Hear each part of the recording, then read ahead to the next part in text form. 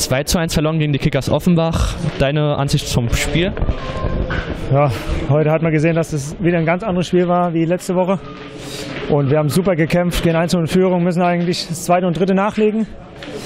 Ja, dann kriegen wir nach einer Standard wieder ein, ein richtig doofes Tor. Und gut, das 2-1 war natürlich klasse gemacht von denen, aber man muss sagen, man, wir haben heute richtig gekämpft wieder.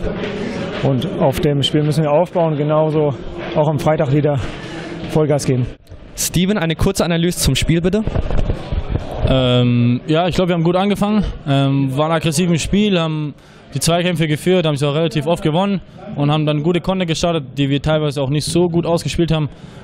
Ähm, haben dann trotzdem das Tor gemacht, meiner Meinung nach verdient und kriegen dann zwei, ja, zwei dumme Gegentore, einmal in Standard, wo dann der Abpraller drin ist. Ja, da müssen wir eigentlich bei den Männern bleiben. Und das, ja, das zweite macht einfach gut. Also okay, er kriegt, er kriegt zwar glücklich den Ball, aber das Tor macht er auch gut. Und ja, ich glaube, wenn wir jedes Mal so spielen von Aggressivität und von der Spielanlage her, äh, können wir nichts vorwerfen. Ich glaube, dann werden wir auch punkten, weil ja, irgendwann, irgendwann müssen wir uns auch belohnen dafür. Ja. Tim, ein ganz kurzes Statement zum Spiel bitte.